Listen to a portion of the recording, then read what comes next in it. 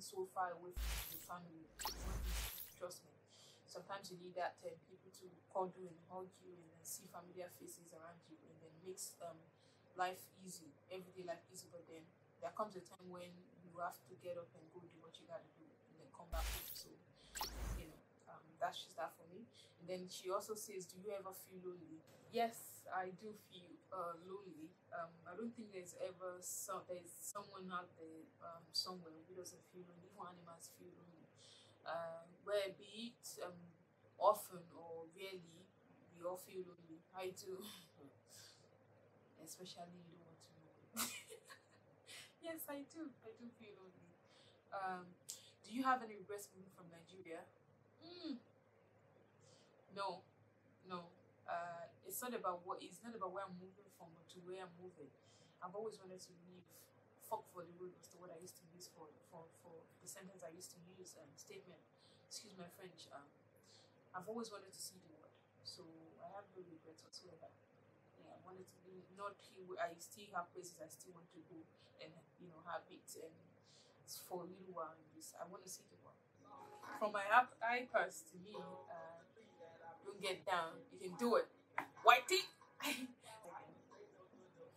so um, back to Tenny. So Tenny also asked me, what are the things they don't tell you about living abroad that you found out the hard way yourself? Mm. You know, I see some people, some of my people back home, say, ah, let us come and find out for ourselves first. So I guess experiencing things firsthand is always the best. Or even, I mean, it's a good way to learn. Let me not say the best. Ah, uh, is that the greener, the grass isn't always greener on the other side. The grass is greener where you water the grass. I'm just going to keep it that simple. If you know, you know. And if you don't know, you can just look that statement up and find out, you know, actually what it means. Because, you know, I just gotta keep it you know, simple and move on to the next one. Uh, um, so it's that the grass isn't greener on the other side. The grass is greener when you water the grass. I hope that explains it. And then lastly, hmm, she goes, um, what are your short term goals? Short term goals. Mm, I used to would started saying that I would think long and hard before I can find the words to say, but no, not again. This sister, this girl, this queen, this woman, she now knows what matters to her most in the world. Um, without having to, you know, think to wake me up in the middle of the night. I need to say it all like offhand. Uh, my short-term goals, uh, I can just say two for now, is finding my balance against all odds. You can say whatever when it comes to but that's me. And also maintaining, retaining, and withholding, and holding on to my joy, regardless of where I find myself in life. It's important because that's the only thing. Both things are what I need to get through whatever I'm going through. That's what I'm going to say. Thank you so much, Teddy baby. I love you. You almost broke my back, but I love you still. Um, the next responder and questions and you know topic will go to Skinny Superman, aka Andre Zai, the owner, the originator, and the artist singing the song that I'm playing right now, and he just sent it to me just after about a few minutes ago, like just in time, just in time. So um, I I'm not sure if the uh, if it's all if it's out on all musical platforms uh, for now, but you can look him up on Instagram at um, I am Andre Zai, Andre, and then Z, and then hi Andre Zai, and then you can if you can find it, you can you know DM me or reach out to me and connect. He's a great artist, and my baby is going places just don't forget when you get there. uh, so um, he goes. So here, oh, so here it goes. As a young beautiful lady, oh my god, you know, I really feel like dancing. That song. Uh, my playlist today, um, usually my playlist is all playlist all is always all, uh, all over the place. I mean, cuts across all genres of music. But I'm a great, I'm a lover of music, so whatever genre, whatever language, I'm down. You know, I am all for the, the the heart, the the mind, and the soul of music. Sometimes the body, because sometimes it depends on the mood. Sometimes I give me daddy son, yeah. I'm a uh, hmm, pretty little, I'm a pretty little bad thing, yeah. So, uh, but today it's about the momentums, yeah. So it's the songs in my playlist right now. Songs that that making me feel hot making me chill or cool down. You know, that's that's why I'm you know going all over my songs like that. So um, Andre will just call me beautiful young lady. Yeah. Oh my goodness. He said, um, as a beautiful, as a young beautiful lady, uh, lady migrant in the US, how regular slash irregular is your dating life? Do you ever get people of the order race blowing up your DM, or is is or is it limited, or it's limited to just um, our fellow African brothers? Brothers, does their discriminative tendencies also affect their romantic views regarding Africans? why, why, Andrew said packed on me, me punches, and then poop, poop, poop in my hair. Woo! I'm thinking somebody's gonna be like, when it comes to dating, she will be loud. She will be loud. Ooh, that's that's a brilliant one. That Andre's question, yeah, and this song makes me wanna jazz. Yeah, yeah. so uh let me read the question how loud it came real quick. Um I feel like I should turn up the music at this at this point. I'm feeling you know, this question got me pumped up all the way again.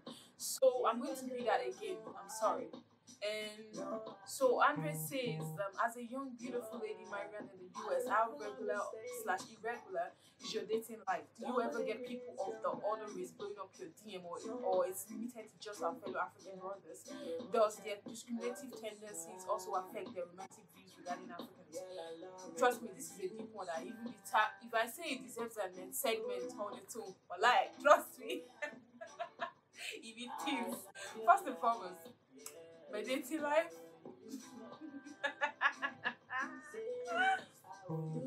Zero. Yeah. Deserves a 4 over 10. I guess we tried. Um, I only reason recently just made a pact with myself and my dad. I played too much. I recently just made a pact with myself to date more. Yeah, yeah, I mean it when I say that. Uh, so, monon, um, uh, monogamously, though, you know, but date. So, this question is a very interesting one.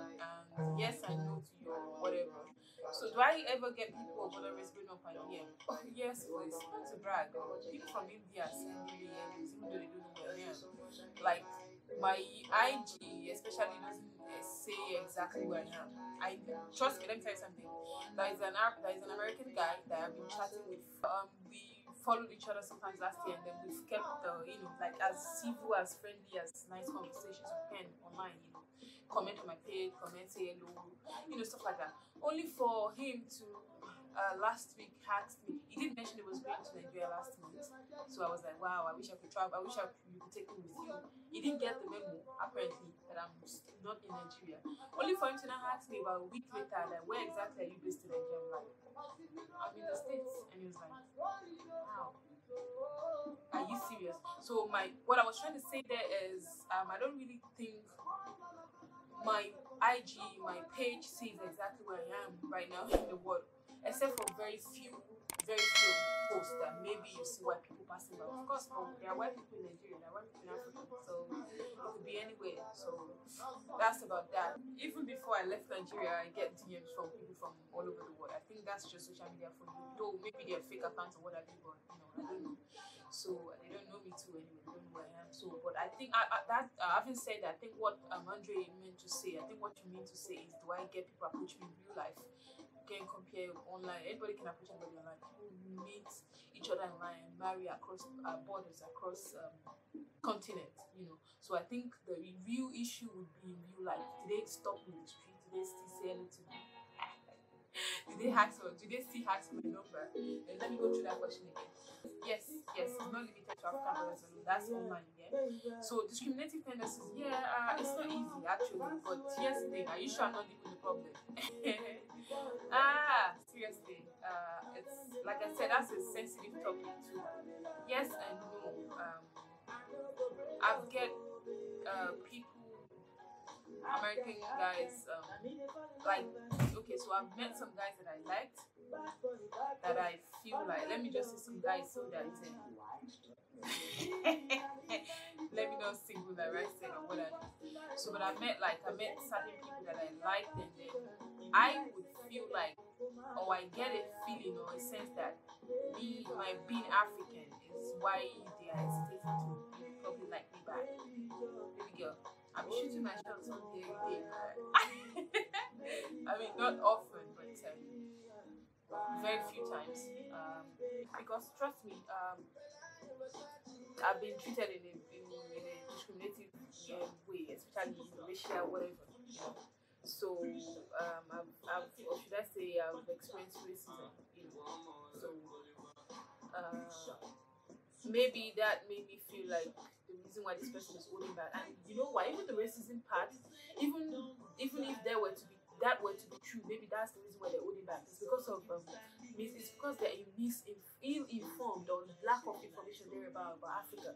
Because I guess some people that eventually talk to me, they be like, "Oh, how can you, how come you speak English?" or "How come you're so learned?" And I'm like, "No, please, where do you think Africa is?" Everywhere, every country, every continent has a suburban area, has a rural area, what have you. But what they think, they, what I think they've been fed with is information about the rural areas. Not everyone comes from the rural part, you know, or, or, or the, the countryside. Yeah, so, but that's just that. So, but I feel, but if they've chosen to be mis- misinformed or ill-informed or ignorant, that's your choice. So, um, I don't think at this point in my life I'm going to feel bad because a certain guy does not um, have the guts, I'm sorry to say, or the gumption to you know, to dig deeper and you know, delve deeper into my onion soul, my onion heart. Like there's more to me than meets the eye. I'm more than just African. Though I'm African black, but you know, in a way, I think you understand what I'm saying. So yeah, that too, that too. I I could be wrong though. They just might not be attracted to me or like me personally. But whatever the case may be, it is what it is. The racism part is definitely is there.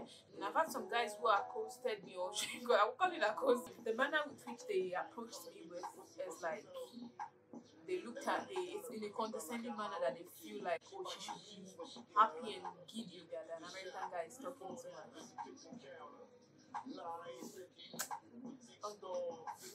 you know when but you know I've had it all the time and then especially on the job and then when I take offense at the way and manner you approach me and then they, they want to look at me like you should be grateful or glad that I'm talking to you. Trust me about I've had I've had experiences like that. So they even tell me things like you even lucky I'm trying to touch you because you probably have some disease from Africa. A, this is a personal experience, I'm telling you. So that too is part of me and then that too has made me conscious to that. Okay, you don't like me. You think I like everything about you. I also have my own narrative about the way I see uh, the American people. relationship or uh, whatever ship you're dealing with people. It's a two-way. It's a two-way road, two-way traffic. It can never be one-sided. So you don't think I have any issue with American some American ways too. You know, we have what the cultural gap, the distance. You know, the different OT. You know, uh, the the, the MO, the modus operandi. It's quite different. So, but if I'm willing to let go of that, somebody wants to hold on to it, I should be, like I said, it's two way. I have to be willing to let go of what I think or compromise or reach a middle ground with the other person, and then he has to be willing to do the same to me. Whether I come from a rural part of Africa or not, or whether I come from the suburb area, know, it doesn't have to matter. Like people have married each other, but even while the person was far from the other person, not necessarily when one migrated to the other place. So please, I think uh, mature-minded people I only fuck with mature minds. Trust me, that's it. Uh, some other American guys who genuinely probably, I mean, whom I can feel like at least a genuine interest that they have a genuine interest in me and then things won't work out maybe necessarily. That it's more than just you liking me, you know.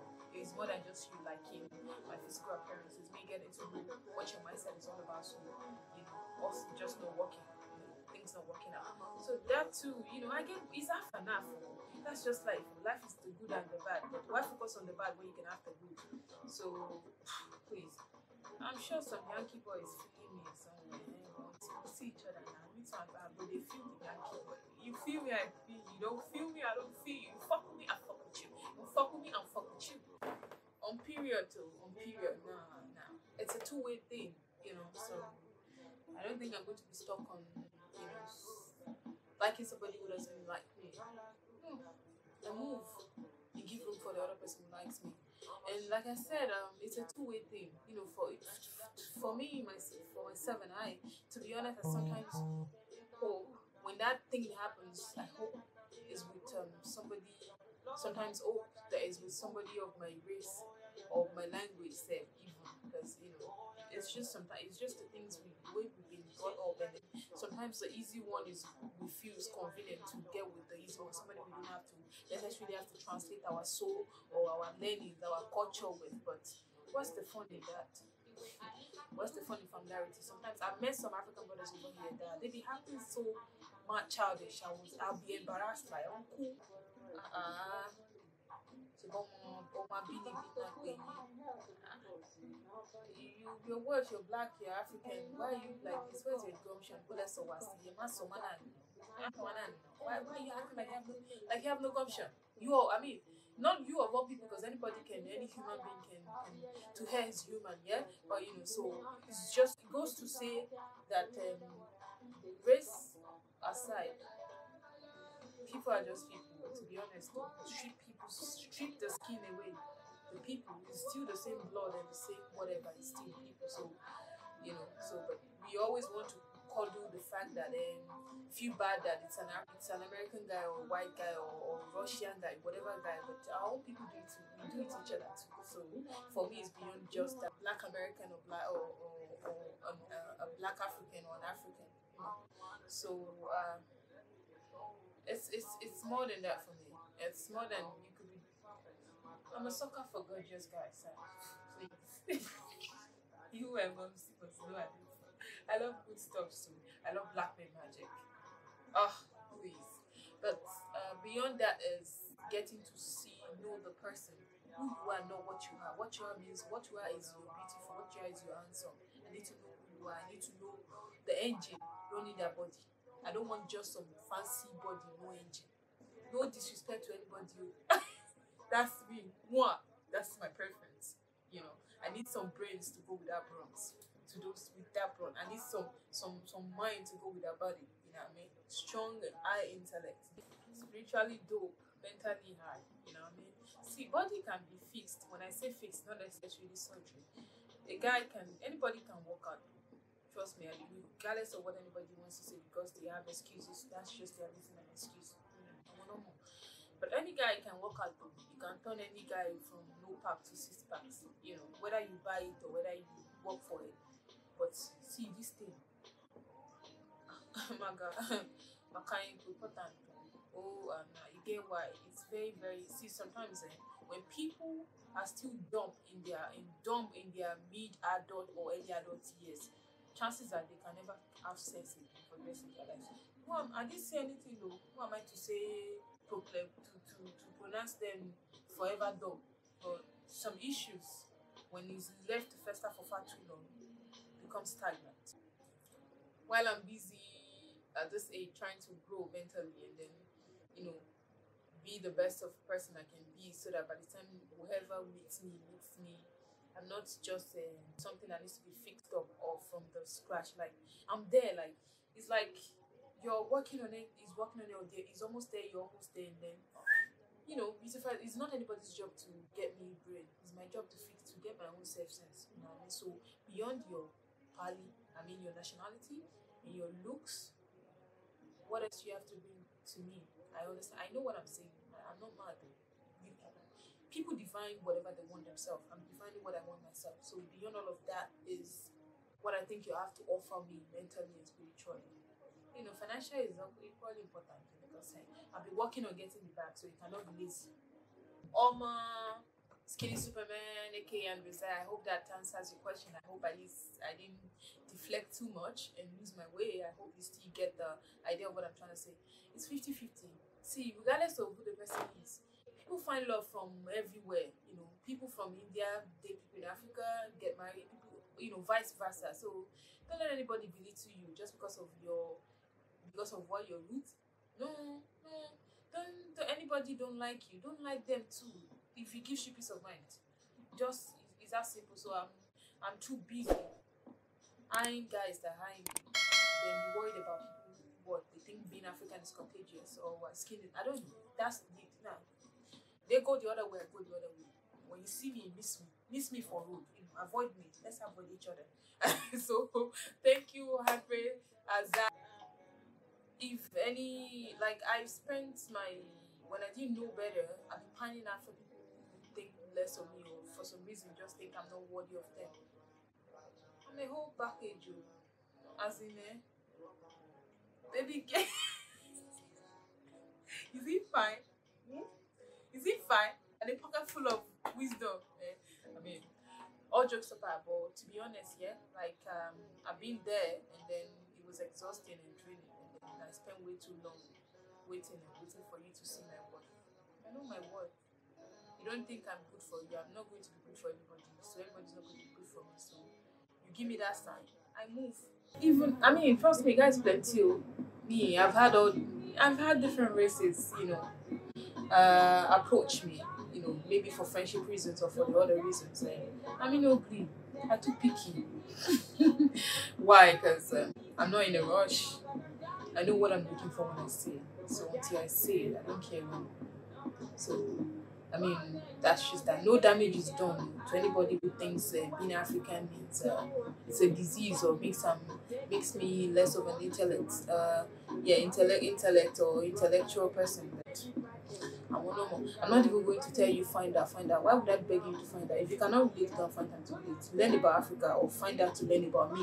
And if you cannot see, buy glasses so it can help you see me for who I am and not my color. Finally, the third responder. Oh my goodness, it's been a journey for me today. You guys will not believe how long I spent recording this, taking unnecessary breaks in between. You get why? I hope, I really hope God, you know, blesses me and then, you know, help me fulfill my dreams. My biggest fear is dying without all, all the life that I feel inside me. The way I be feeling this thing crash through my veins, eh, it's, it's shaking me. So I'm sure it's going to shake some people. so please, uh, all the resources that I need, I pray God gives it to me. And anybody out there struggling to make something better out, out of their life and trying to you know chase their dreams or live their life full say, I hope God helps them and give them all the resources that they need as well. So lastly is from Aniyi Samson.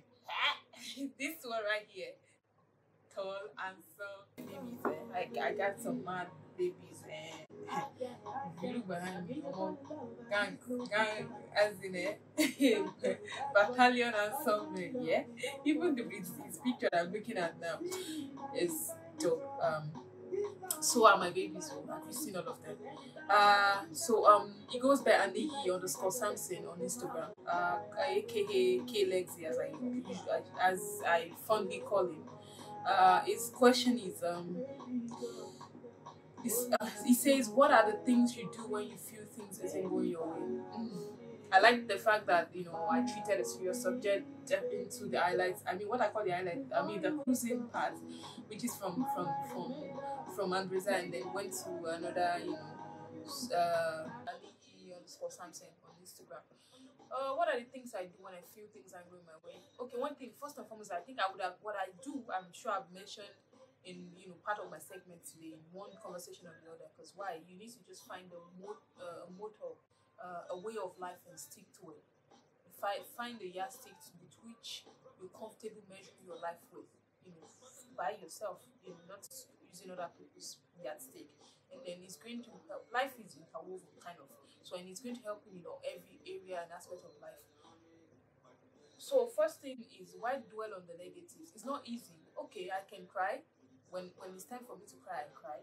When it's time for me to yell, I yell it. When it's time for me to curse it, I or even when I dwell on it, I try I try to make sure I take out the message of okay, so things is not going the way I want it to go. What other way could I have done it? It's like look for the solution in in, in, in, in it. Like they have done it in it's like I should have maybe taken this route. I took this route. So I took this route, things didn't turn out well. How can I change, trace back my, trace my step, or maybe is there any way on this way that I can cross over to this place? You know, you still gotta analyze things. You know, you know, you know, over, you know, check things, see where you missed, see what you missed, and you know, see what you can do. And then if it's something beyond my control, what can I do? What can I do is beyond my control? It's a question I ask myself first and foremost. Is what can you do? Can you fix it? I fix it. Can you know if it's beyond your control? Leave it to somebody that can fix someone that fixes things that are beyond. And shall we all master this together?